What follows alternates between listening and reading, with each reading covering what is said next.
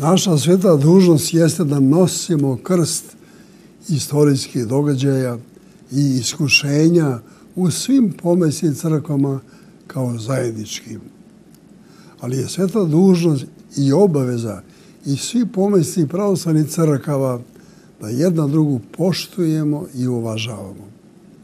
Dakle, poslanike u vinagrodu gospodnjem, ma koliko oni bili zaslužni,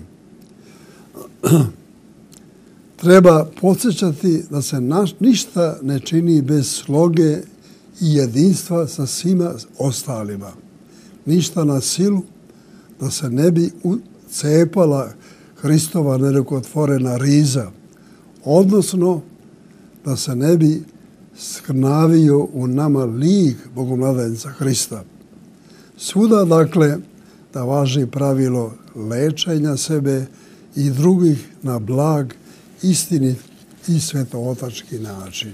U našem ovogodišnjem i božićnom obraćanju upućenom našoj vernoj svetosavskoj deci, podsjećamo da ne smemo zaboraviti našu, našu staru Srbiju, Kosovo i Metohiju.